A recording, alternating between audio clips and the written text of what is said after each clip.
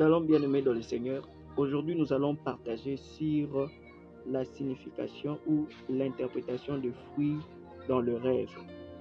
Mais avant tout, n'oubliez pas de vous abonner et de liker la vidéo.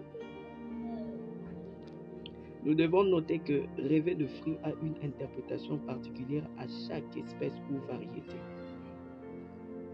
Il est aussi important de ne pas mettre en évidence la taille, la saveur ou encore la couleur.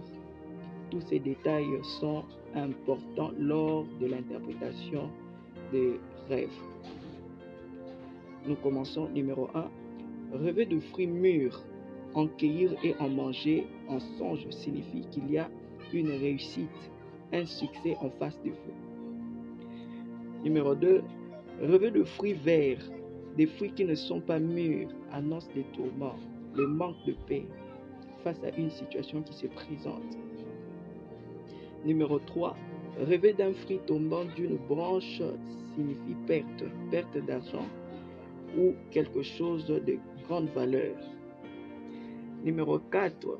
Rêver de fruits pourris, pleins de verre, est un présage d'un succès, de l'échec.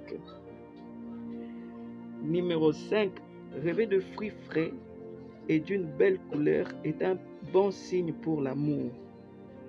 Et numéro 6. Acheter beaucoup de fruits dans votre rêve laisse présager beaucoup d'événements agréables.